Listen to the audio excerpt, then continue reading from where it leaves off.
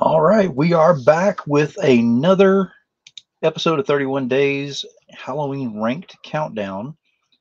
And we are getting to it with number seven today. And uh, we'll be getting to that here very shortly. Before we get started on that, go ahead and let everybody know we're going to go through the basics on this yet again because I do this on every show. So, the way that it works is everyone's entitled to their opinion. I am as well. That being said, if you want to have a discussion, if you want to put comments on here, whatever, we're good with that. If you come in here with the sole intent of trolling, not so much. We will have to remove those because it's all about the fun. It's the holiday season, supposed to have fun this time of year. So, at number seven on the ranked list, and we're within my top 10 now.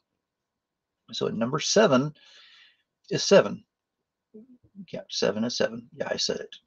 I did that on purpose, and it actually fits with what I wanted to do as well. So seven is seven.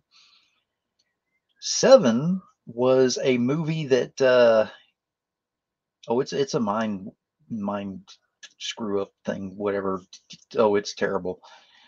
The worst part about seven, the best part at the same time, is that the the way that the murders, the way that things were being done in there, had been planned out so far in advance and knew exactly how the police and everybody were going to react so that it would push them to the next one and to the next one.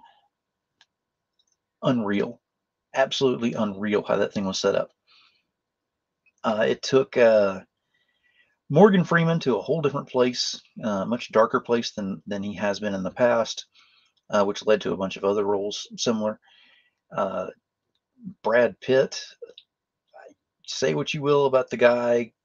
I mean, his acting in this one was on point because, especially at the very end, yeah, I mean, there are spoilers in some of these things. This is, you know, kind of right there as well. But what's in the box is probably one of the biggest memes that's out there still to this day, uh, used very frequently.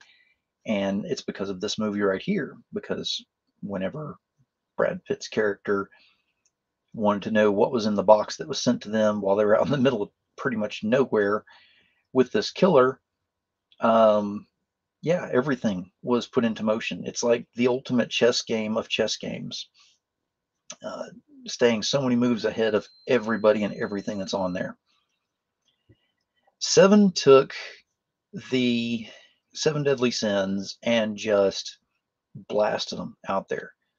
Seven deadly sins. People were kind of, I guess you would say, uh, judged upon them, and then judgment was rendered above and beyond. I'm not big on gore movies. Uh, you know that from watching some of my other ones that are on here and everything, and me talking about it. And Seven does have the gore factor. Do not get me wrong, but to get past that and to go into strictly the messing with your mind phase of this thing was just phenomenal. So if you have not seen it, seven needs to be on your list. Epic. Awesome. Definitely there. It was going to be in my top 10 anyway. It just ironically fell into the number seven spot. So hope you enjoyed this one. We're going to keep going with the uh, the next one tomorrow being number six. And we're getting closer and closer to my number one. So keep that in mind. But uh, please remember, like, subscribe, and share today if you're enjoying the content on here. Subscribe so you don't miss out on any of this. Uh, we're we're moving down to almost my number one of what I what I consider my number one uh, scary movie.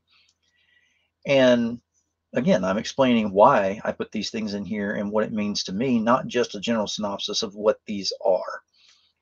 So keep that in mind. But seven definitely needs to be in your list. These other ones, I mean, they can or can't be if you wish. I mean, everybody has their opinion. I already said that. But just kind of have some fun with it. But I'd like to know what everyone else is thinking. Uh, if you're doing a list, 31 days of Halloween, and you were to put a seventh spot on there, you know, because seven and 13 are kind of important spots on there as long as, you know, number one being the most important. But yeah, I want to know everyone's number seven. So go ahead and comment on there and let me know what would be your seventh ranked Halloween scary movie on your list. And until then, keep in mind, all eyes are on you this holiday season.